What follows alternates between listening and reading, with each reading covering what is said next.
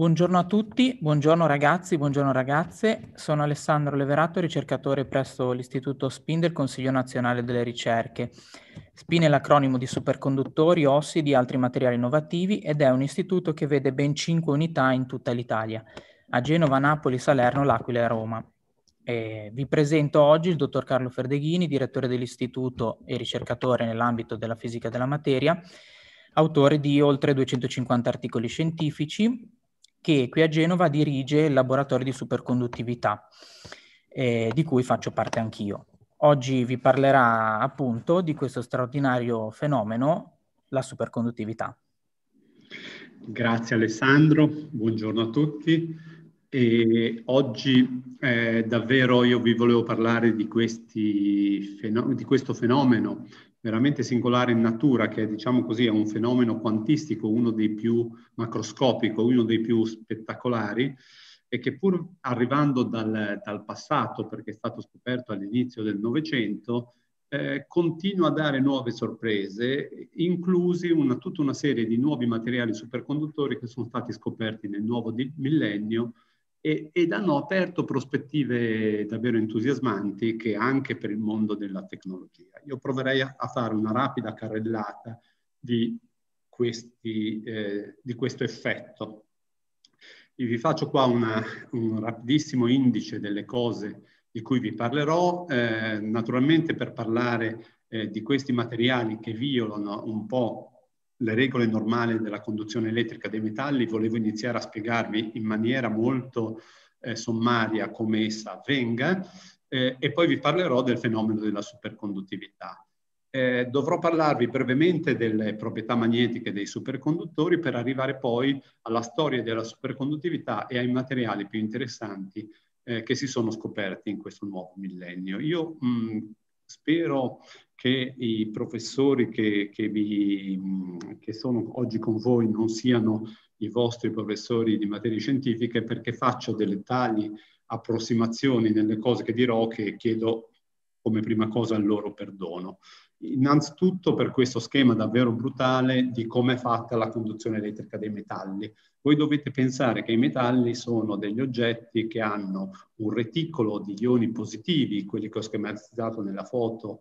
in rosso che stanno, si sono disposti in, in maniera regolare eh, nel reticolo cristallino e eh, questo mare di elettroni, questa nuvola degli elettroni di conduzione che si muovono in maniera molto veloce e in maniera casuale in tutte le direzioni dello spazio. In realtà dovete pensare a questo oggetto come un oggetto eh, che sta insieme e come vedete i, eh, gli elettroni si muovono liberamente in questo eh, reticolo eh, cristallino che sta fisso. È una schematizzazione molto forte. Ehm, questo vuol dire che appunto in, nella realtà questo reticolo può essere anche eh, molto compatto, per esempio nello schema che vedete, che vedete lì a destra sono ehm, le due specie atomiche diverse, sono schematizzate in viola e in ehm, verde, e gli elettroni si muovono liberamente lì in mezzo. E ehm, non c'è però una corrente. Voi dovete pensare che questi elettroni si muovono in questo modo casuale a velocità spaventosamente alte, parliamo di 1500 km al secondo nel rame. Quindi, eh, però vedete, si muovono in tutte le direzioni e quindi non c'è un trasporto di carica netta da una parte all'altra del pezzo di metallo. Però se io immagino di avere invece adesso un pezzo di materiale in cui da una parte, mh, che ho lì schematizzato in giallo con quelle cariche positive, eh, faccio una zona del metallo in cui c'è una mancanza di elettroni e dall'altra parte un, di, un eccesso di elettroni e collego queste due parti del metallo insieme, quello che succede è che una carica netta si sposterà dalla parte del metallo in cui c'è un eccesso di elettroni verso quella in cui c'è una mancanza di elettroni. È quello che si chiama la corrente elettrica. Questa volta per trasporto di carica e fino a che ci sarà quella che si chiama la differenza di potenziale, questo trasporto di carica avverrà. Quindi eh, voi siete, sapete benissimo cos'è una differenza di potenziale, anche se non l'avete ancora studiata, perché tutti voi sapete che eh, quando io attacco la corrente, la spina nella corrente elettrica, eh, il mio utilizzatore, la mia lampadina si accende proprio perché ai capi della spina c'è eh, la 220 e 220 è proprio l'unità di misura della, corrente, della differenza di potenziale che c'è ai capi di quella spina. La stessa cosa avviene quando io collego una batteria eh, a una batteria un utilizzo, un qualunque utilizzo, e in generale c'è un pulsante on-off proprio perché appena collego il polo negativo col polo eh, positivo c'è una corrente di, che scorre. E questo è un fenomeno che noi conosciamo, voi conoscete molto bene, eh, è un fenomeno anche naturale, chi, chiunque ha in una giornata di eh, tuoni fulmini ha una eh, visione spettacolare di come può essere un fenomeno elettrico delle enormi differenze di potenziale si vengono a creare nell'atmosfera, così grandi che rompono la rigidità elettrica eh, del, dell'aria, fino a che enormi scariche, i fulmini, compaiono nel cielo. Quella è una, eh, una diciamo così, spettacolare corrente eh, di trasporto netta verso terra. Bene, eh, e qui, perdonatevi, questa è l'unica formula che scriverò nel, nel, corso di questo seminario è la legge di Ohm, eh, ovvero la corrente elettrica, la differenza di potenziale, ne ho parlato, ehm, è proporzionale alla corrente elettrica che, eh, che scorrerà nel, nel, metallo, cioè più è alta la differenza di potenziale che io applico, più è alta la corrente elettrica e la costante di proporzionalità è quella che si chiama resistenza elettrica, ovvero come il materiale si oppone al, al libero fluire delle cariche al suo interno. E da cosa è, de è determinato questa resistenza elettrica? Vedete, voi dovete immaginare che eh, la resistenza sia l'equivalente nella fluidodinamica di una strozzatura, per cui io devo mettere una grossa differenza di pressione per fare fluire un flusso d'acqua in un tubo. Ebbene, ehm, tutti voi sapete che quando poi una eh, corrente elettrica scorre in un materiale, appunto c'è la resistenza e la resistenza da cosa è provocata? È provocata da urti. Mm, sono urti eh, nei quali gli elettroni perdono energia. Ma urti con che cosa? Beh, eh, sicuramente contro le impurezze nel reticolo, poi vedremo cosa sono eh, e anche degli urti con, con gli ioni eh, del reticolo, ma questo non è proprio vero perché gli ioni del reticolo in realtà, vedete qua sono schematizzati in blu, sono fermi in, in posti ben determinati nel reticolo cristallino. Ma eh, siccome c'è eh, l'effetto della temperatura, in realtà questi atomi così fermi non sono perché siccome c'è l'agitazione termica, ognuno di loro oscilla all'intorno del suo punto di equilibrio. Queste oscillazioni, che sono eh, oscillazioni di, con molti modi diversi, trasverse, longitudinali, ma lasciamo perdere i dettagli, sono addirittura quantizzati e si chiamano fononi e sono eccitazioni di questo reticolo. Ecco, sono eh, gli elettroni urtano con queste eccitazioni, del, interagiscono con queste eccitazioni del reticolo che sono promossi dalla temperatura e quindi questo è un pezzo di, eh, diciamo così, di, di scattering, di urti che contribuiscono a alzare la resistenza. Benissimo, questi sono, allora abbiamo visto gli urti con i fononi che aumentano la resistenza, eh, gli altri veleni che eh, gli elettroni vedono come ostacoli sono le impurezze. Voi dovete immaginare, per esempio, se voi vedete qua in grigio il reticolo di rame, facciamo, poi ogni tanto c'è un'impurezza, che so, di ferro, questa in viola su questo reticolo. Il ferro è più grosso e quindi distorce il reticolo e queste impurezze che non rispettano la periodicità del reticolo, nel senso lo deformano, eh, tendono a essere eh, centri di scattering, si dice, cioè centri in cui gli elettroni urtano e quindi impediscono il loro libero fluire. E allora potremmo fare eh, il, mm, il seguen la seguente considerazione, che ogni volta che in un metallo c'è una corrente elettrica circolante, c'è una dissipazione di energia attraverso gli urti con i fononi e con le impurezze. Tutti voi avete contezza di questo uh, fenomeno uh, fisico, tutti voi sapete che quando accendete una stufetta, fa freddo, accendete una stufetta elettrica, vi mettete le mani davanti, sentite calore che radia dalla stufetta elettrica perché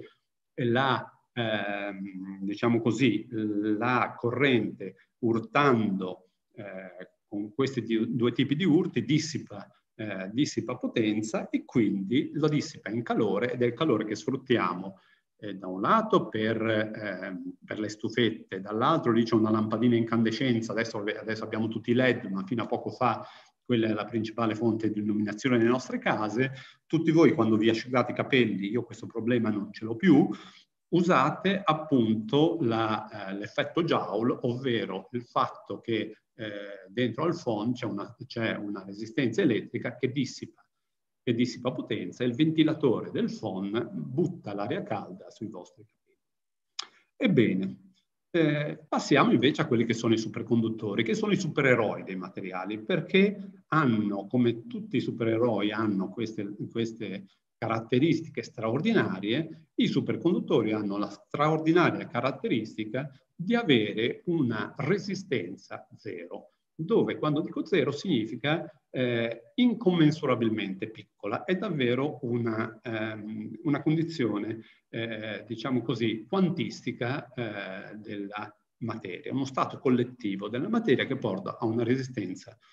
nulla. Eh, come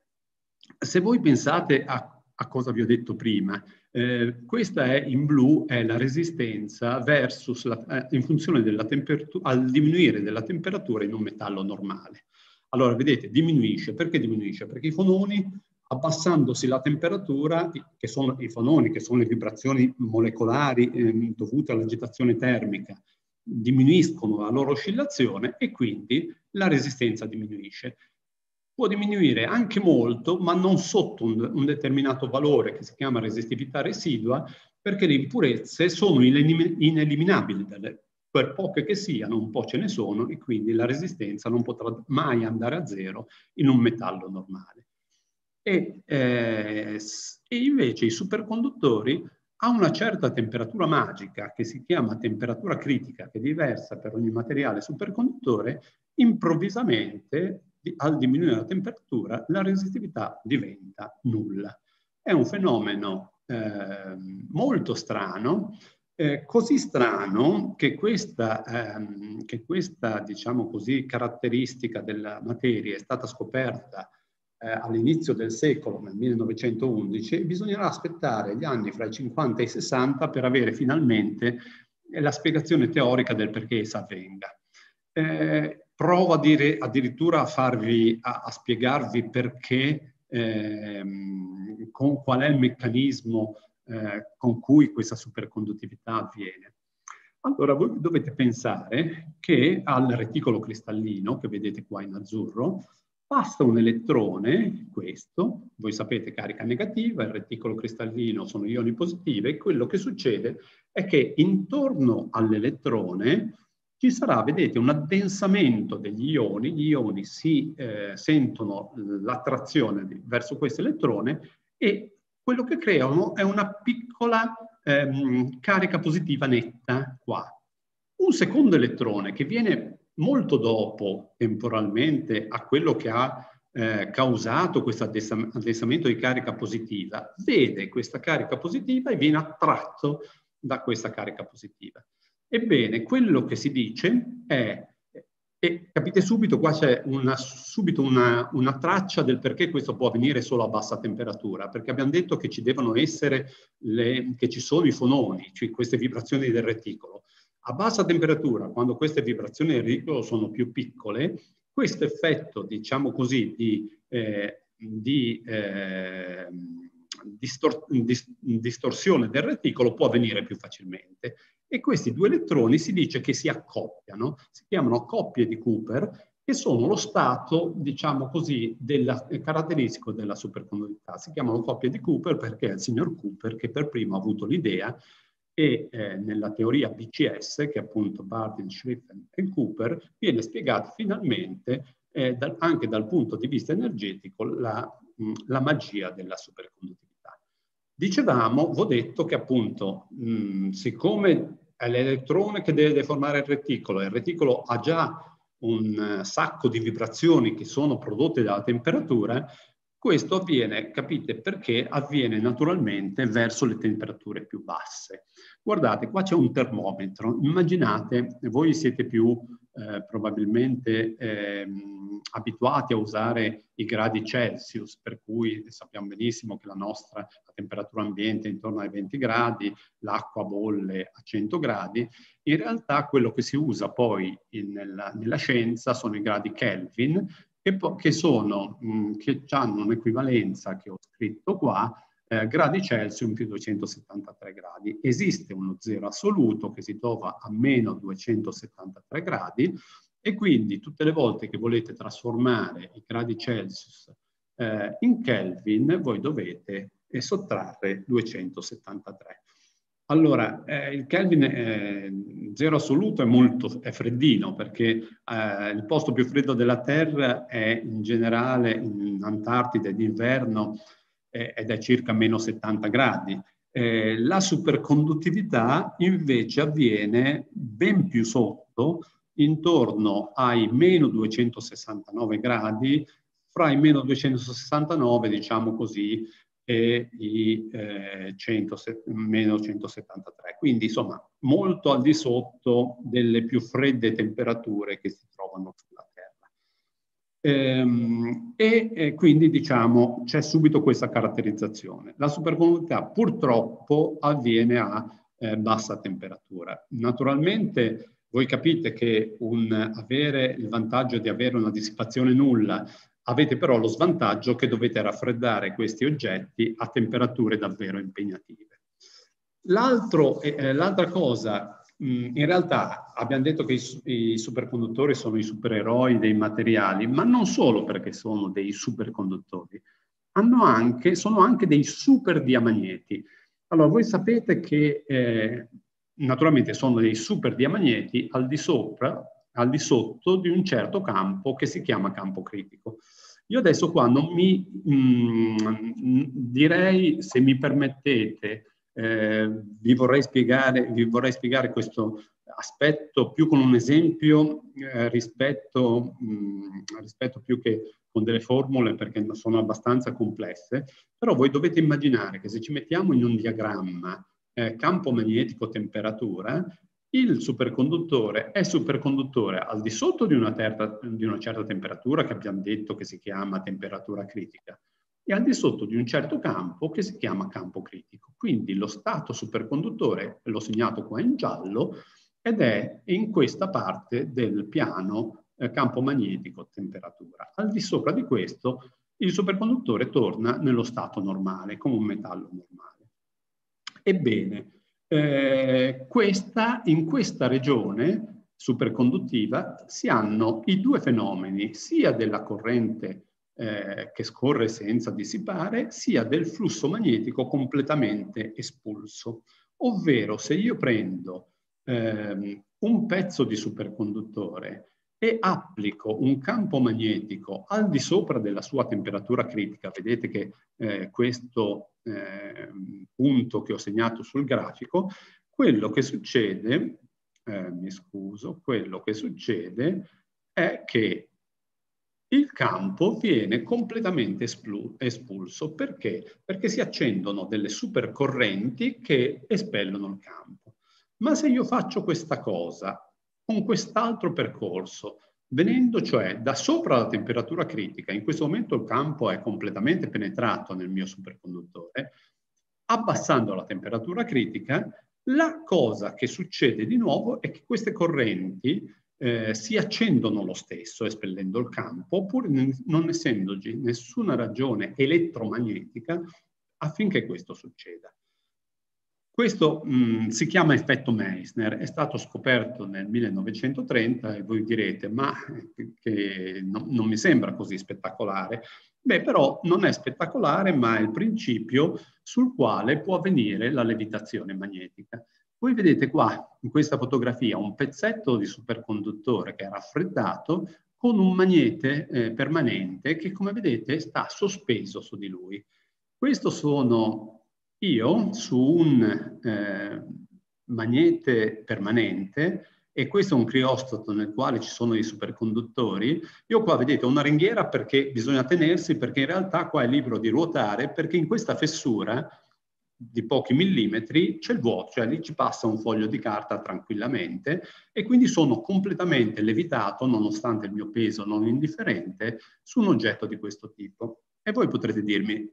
e allora non è poi così interessante a parte il gioco di stare lì sopra e poter ruotare liberamente. Però questo è il principio sul quale si formano, eh, sono stati sviluppati i treni superconduttori. Questo è eh, un treno che si chiama maglev, è, fatto, mh, mm, è stato sviluppato soprattutto in Giappone, eh, ce n'è uno funzionante in Cina eh, all'aeroporto di Shanghai ed è un, eh, un'esperienza davvero molto molto carina. Io adesso volevo farvi vedere, eh, se eh, funzionerà il filmato, eh, questo aspetto della levitazione magnetica. Guardate, questo in nero è il superconduttore, questo che è stato coperto da questa cartina è il eh, magnete, un magnete permanente, Ora l'operatore lo posa sul, su quell'oggetto e come vedete questo si posa a forza di gravità, ce lo schiaccia lì sopra. Però se adesso noi raffreddiamo quel pezzo di superconduttore, quel liquido che vedete cadere è azoto liquido, lì è meno 200 gradi, quindi piuttosto freschetto, metto lo stesso magnete lì sopra, quello che avviene è la levitazione magnetica. Questo è il, eh, diciamo, per me che sono un vecchietto, eh, che fare questo esperimento un tempo bisognava eh, andare in, eh, in, camere a vuoto eh, ehm, a temperature estremamente basse, l'idea di poterlo vedere in modo così semplice, addirittura toccare l'oggetto che, che sta levitando, è veramente una cosa molto. E, e come vedete è anche molto molto divertente. Va bene, questo è eh, il principio e questo invece è eh, la, eh, quello che si può ottenere. E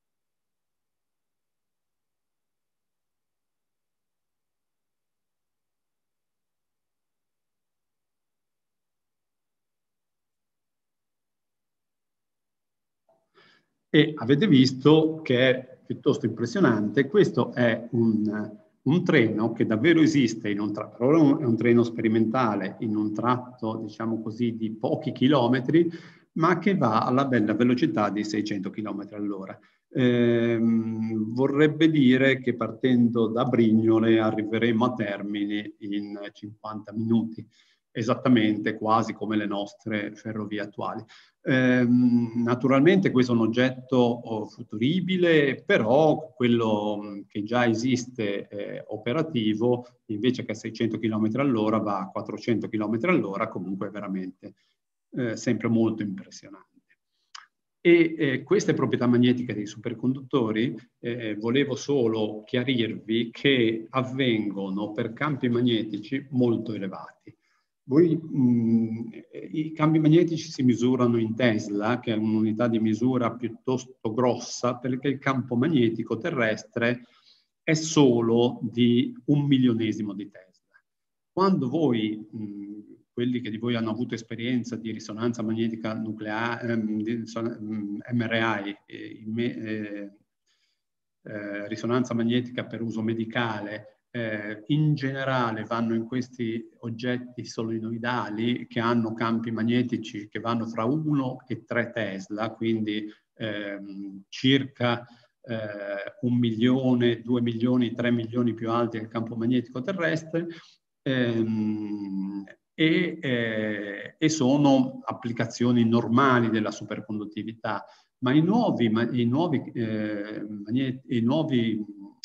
eh, composti superconduttori scoperti negli ultimi tempi possono avere eh, campi critici degli ordini dei 120-150 Tesla, quindi veramente impressionanti.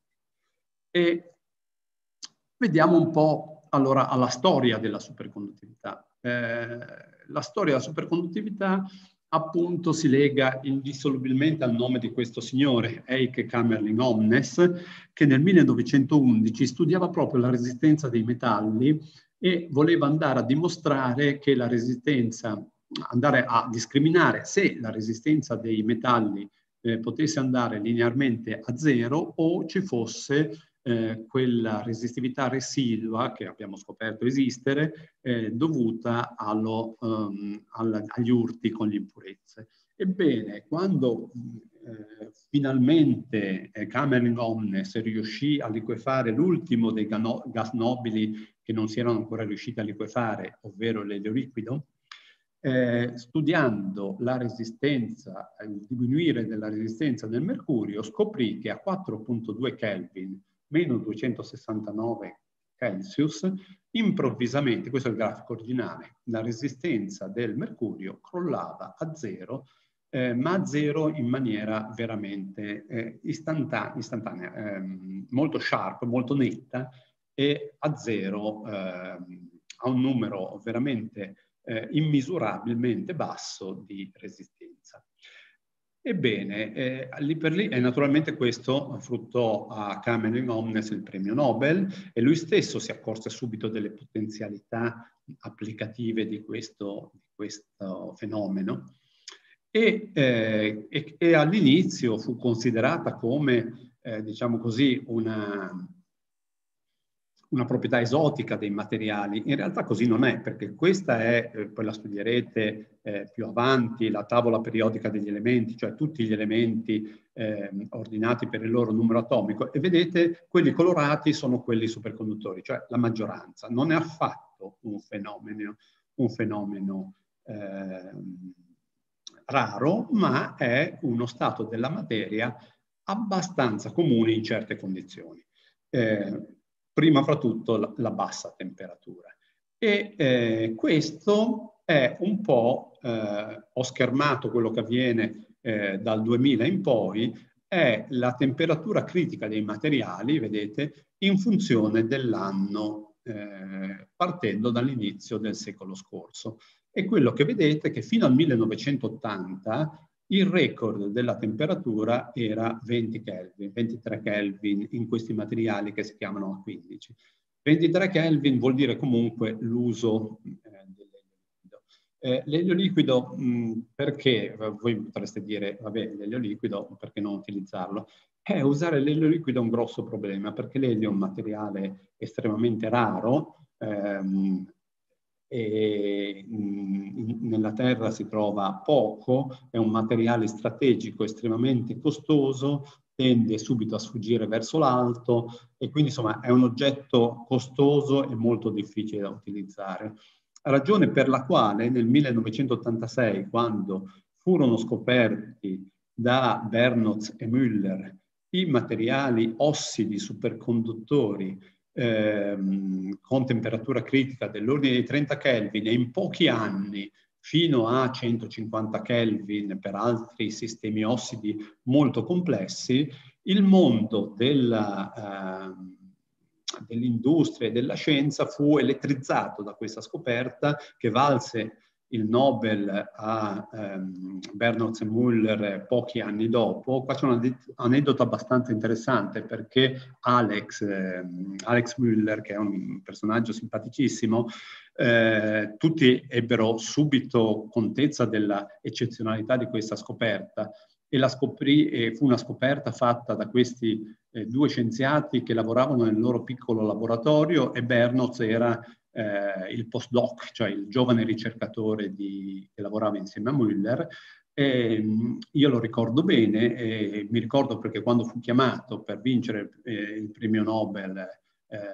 Alex Müller gli venne dato eh, in tempi abbastanza ehm, brevi proprio perché sembrava molto malato, sembrava molto vicino alla, alla, fine della sua vita e volevano dargli questo riconoscimento finché fosse stato in vita. Devo dire che ancora adesso Bello Vispo e partecipa ancora alle conferenze, è addirittura ancora attivo, quindi a volte si fanno degli errori di valutazione, in questo caso molto molto piacevoli. Ebbene, perché andare così su di temperatura eh, è molto molto importante? Perché a questo livello qui che, se, che sto segnando intorno ai 77 Kelvin eh, c'è un altro criogeno che è eh, l'azoto liquido, quel liquido che vi ho fatto vedere prima nel filmato che veniva versato sul superconduttore. Per cui l'idea di poter utilizzare un liquido di così facile utilizzo come eh, l'azoto liquido aveva naturalmente eh, eh, elettrizzato tutti noi all'idea che questi materiali potessero consentire davvero un uso eh, diffusissimo e indiscriminato della superconduttività. Poi se avremo tempo vedremo che questi materiali purtroppo hanno dei piccoli problemi che tanto piccoli non sono. Allora, vediamo un attimo, andiamo un attimo alle applicazioni dei superconduttori. Vi ho fatto già vedere un treno, ma molti di voi hanno sentito parlare di LHC, il Large Hadron Collider, un questo eh, diciamo eh, enorme eh, acceleratore di particelle che c'è eh, a Ginevra è una delle più colossali ehm, imprese della scienza eh, di tutti i tempi, perché è stato costruito un tunnel eh, che è eh, lungo 36 km, nel quale ci sono dipoli superconduttori da 12 Tesla, ehm, quasi tutti per metà almeno costruiti in Italia mm, e in Liguria, eh, come poi vedremo, e eh, nel quale eh, ci sono fasci di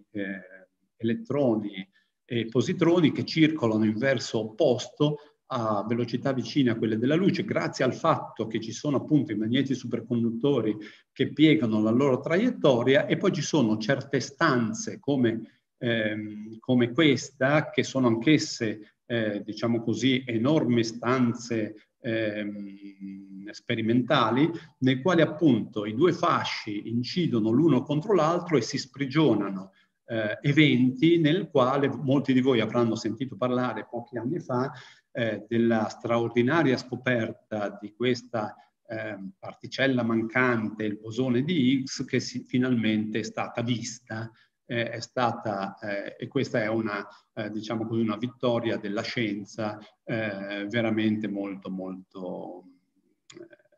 molto importante. E, e, qua in questa piantina LHC sembra piccolo perché voi vedete che qua c'è un'altra circonferenza e questo è il nuovo progetto eh, che si chiama Future Circular Collider, il, il, eh, il collisore circolare del futuro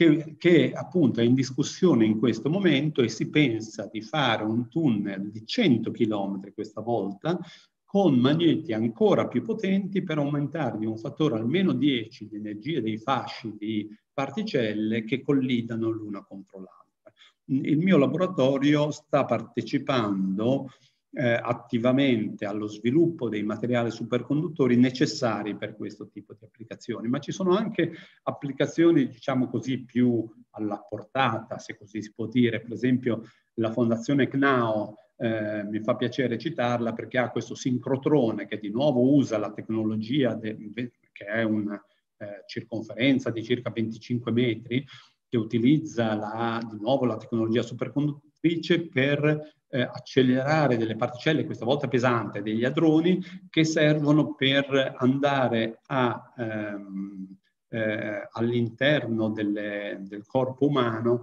andare a eh, danneggiare eh, selettivamente le cellule can cancerogene nei nostri organi. Quindi questa è una nuova frontiera della medicina che ha necessità per accelerare questi, eh, questi oggetti di, della superconduttività. Ma poi ci sono anche altre, ehm, altre diciamo così, mh, applicazioni veramente importanti. Eh, per esempio mi fa piacere citare fra le mille che ci sono eh, questa della, ehm, di, eh, del, di, questo progetto pilota sui cavi superconduttori che c'è nella città di Essen in Germania. Vedete in rosso è segnato questo cavo eh, che tutti voi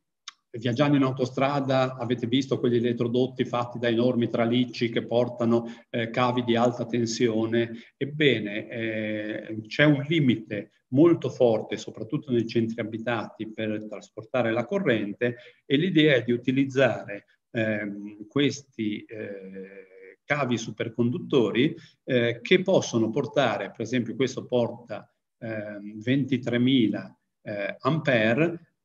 proprio per andare a collegare due centri di utilizzo mh, molto importanti. E questi, voi vedete, sono oltre il superconduttore molto poco qua dentro, eh, ma eh, naturalmente devo portare, oltre che l'isolante, anche il suo criostato, perché qua eh, fluisce un criogeno che deve tenere fredda la parte interna.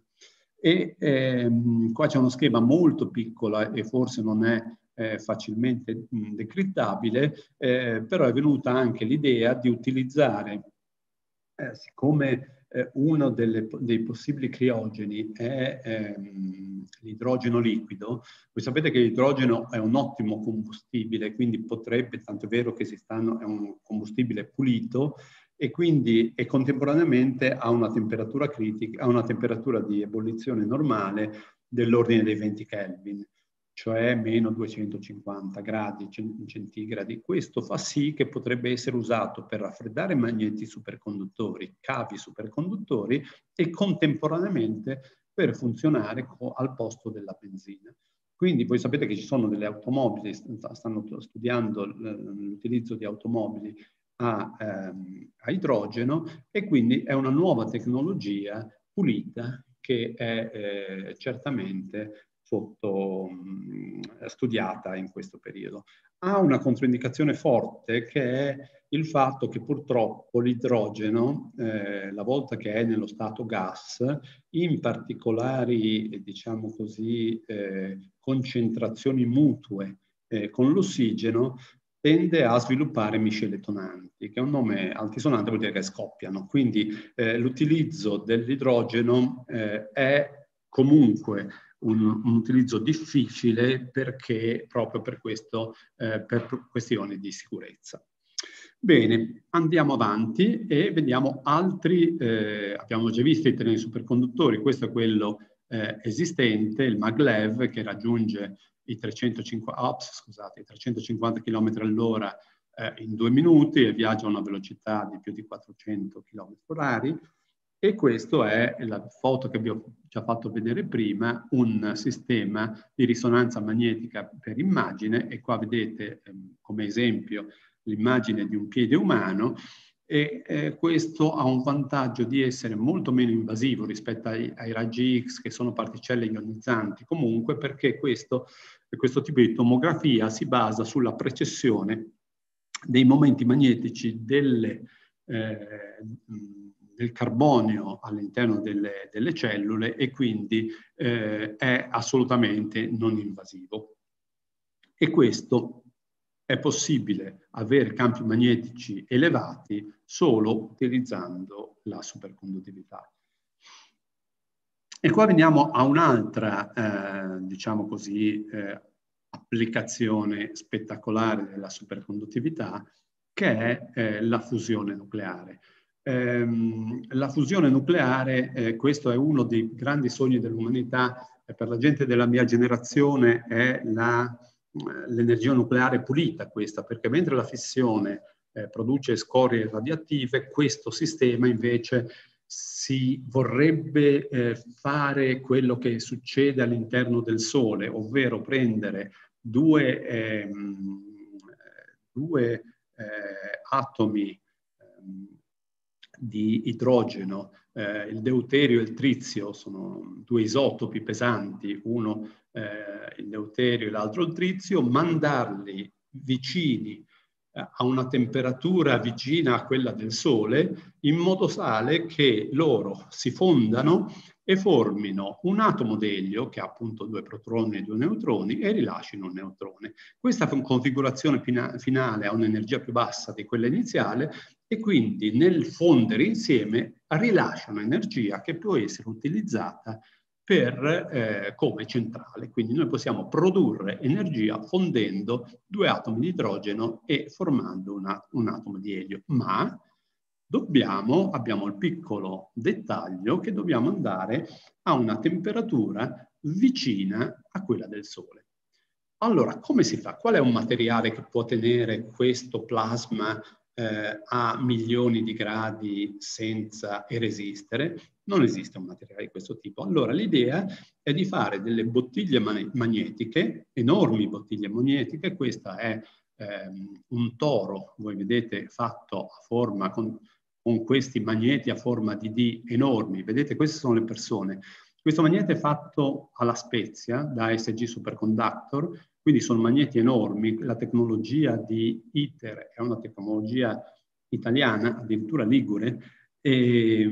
e vedete, e si tratterebbe in sostanza, questi magneti AD tendono a creare questa corona circolare in cui il, pla il, plasma è mantenuto e questo è il posto della Terra, è il posto dell'universo dove ci sarà il più grande gradiente di temperatura, perché qua ci saranno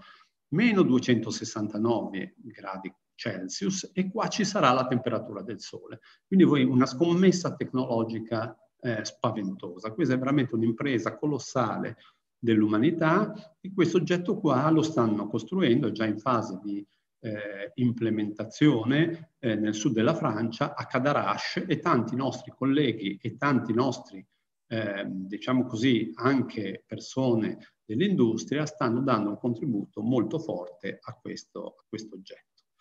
E veniamo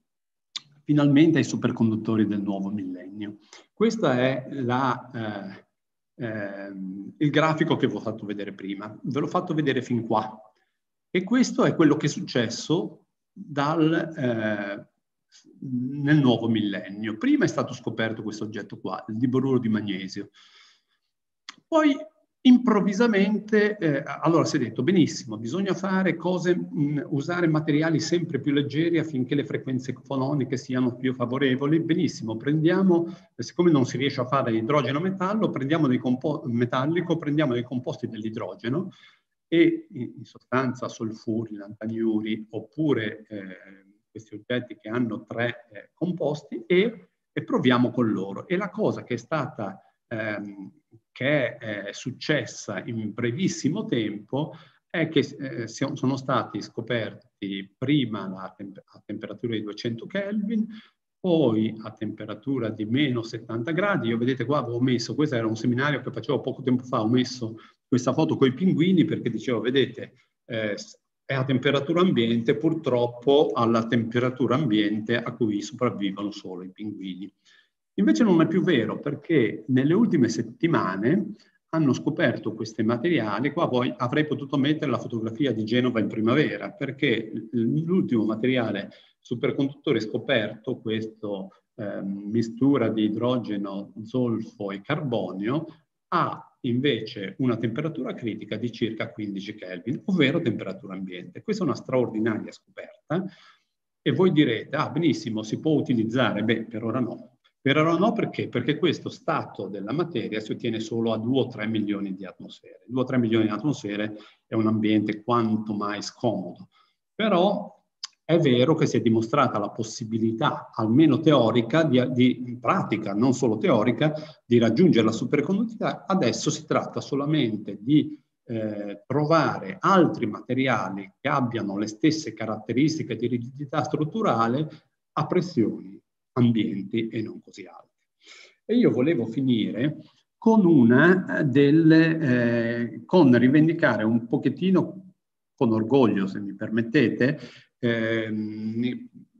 la, eh, diciamo così, la, il ruolo di Genova eh, anche a livello internazionale sul, eh, in questo campo. Perché vedete, questo è il laboratorio,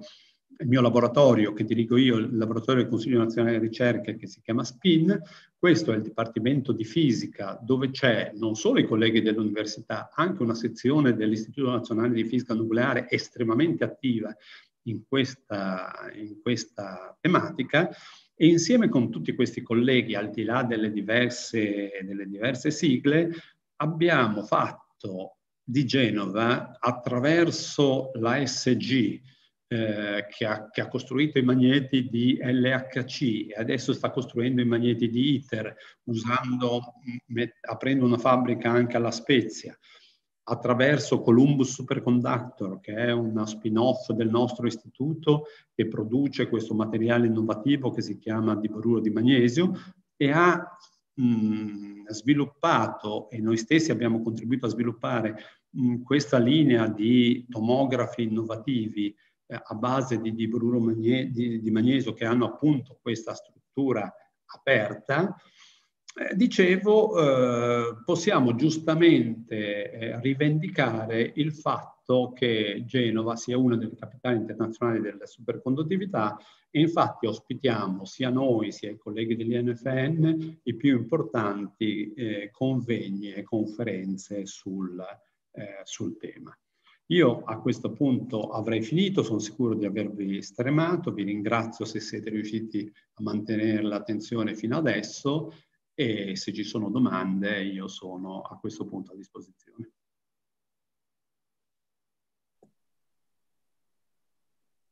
Allora, mentre attendiamo magari qualche ulteriore domanda sul,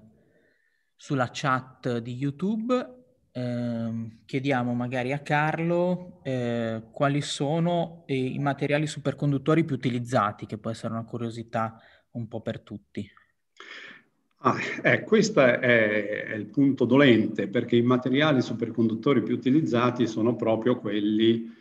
che hanno le temperature di utilizzo più basse, anche perché sono quelli che sono stati scoperti, come ho detto, all'inizio del secolo e hanno avuto, e hanno avuto più tempo per essere sviluppati, ma sono tecnologie difficili, scusate, qua vado, vediamo se riesco a farvi vedere. Ecco, perché sono tecnologie difficili? Perché allora, questi sono i cavi come sono strutturati. Al di là eh, si usano niobio tristagno, niobio titanio, ma al di là di quello che sono, vedete questi sono migliaia di filamenti di pochi micron di diametro impacchettati all'interno di matrici metalliche. Tutto questo, eh, quindi sono alcune migliaia di filamenti, tutti separati fra di loro, e poi questi oggetti qua sono cablati fra di loro per fare questi strand, questi sono strand per fare questi cables, proprio che sono, sono l'elemento del magnete. Voi capite che questi materiali qua, ehm, sì, è una tecnologia, diciamo così, piuttosto standard, ma sono ass- assolutamente complicati perché ci vuole un controllo su scala eh, micrometrica in sezione per lunghezze che sono invece chilometriche. Quindi una te- tecnologia estremamente complessa e complicata anche dall'utilizzo dell'elio liquido, che è un materiale raro, sempre più difficile da ottenere in grande quantità e quindi questa è una delle limitazioni principali dell'utilizzo dei materiali stessi. Ci sono altre domande o continuo a chiacchierare da solo? E a questo punto, siccome dici che ehm, una grossa limitazione quindi è l'elio liquido e ci hai parlato però della scoperta di materiali superconduttori ad alta temperatura, ovvero quelli eh, che possono lavorare, diciamo, con l'azoto liquido molto più economico, come mai non vengono utilizzati più intensivamente questi materiali? Eh, questo è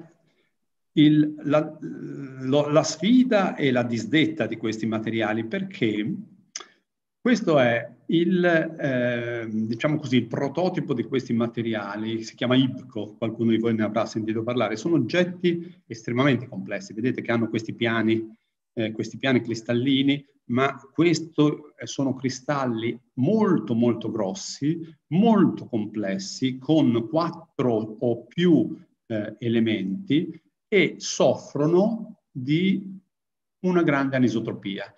Uno dice, vabbè, mm, che problema c'è? E purtroppo c'è questo problema perché hanno eh, una grossa anisotropia, eh, scusate, e anche una piccolissima, non vi spaventate, lunghezza di coerenza. La lunghezza di coerenza è la lunghezza sulla quale, nella quale il, la superconduttività si ricorda e gli elettroni si continuano a vedere Il problema è che è così breve questa lunghezza di coerenza che tutti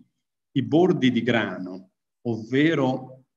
se io immagino di fare film sottili, epitassiali, cioè perfetti come cristalli, se io ho un disallineamento del cristallo mh, anche non per, un allineamento non perfetto lungo questa linea qua, il superconduttore si scorda di essere tale e quindi è come se i superconduttori si dividessero in due.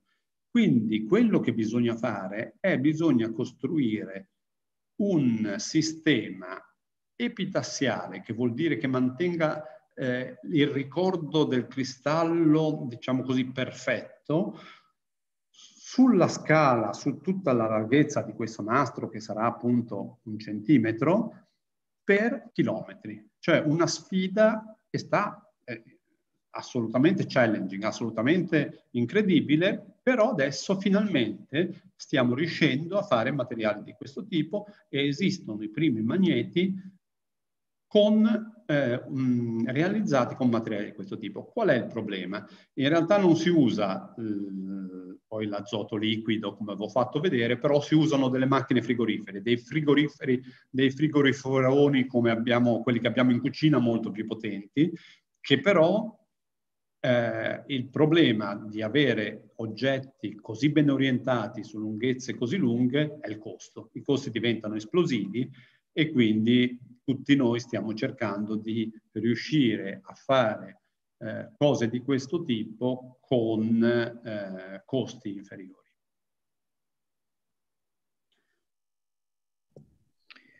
Allora, se non ci sono altre domande,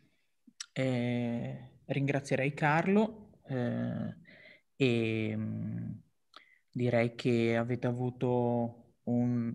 bel seminario sulla superconduttività dove potrete sbizzarrirvi poi per i vostri progetti di art and science. Io ringrazio tutti, sono sicuro di essere stato, io mi scuso con i professori se sono di materie scientifiche perché come avete visto ho dovuto fare delle approssimazioni molto brutali, ma eh, credo che le classi fossero di livello non eh, molto vario, dalla terza alla quinta, e quindi questo è, eh, diciamo così, mi, mi, scuso con tutti coloro i quali si sarà, avranno trovato troppo banale eh, la spiegazione e vi ringrazio per l'attenzione ancora.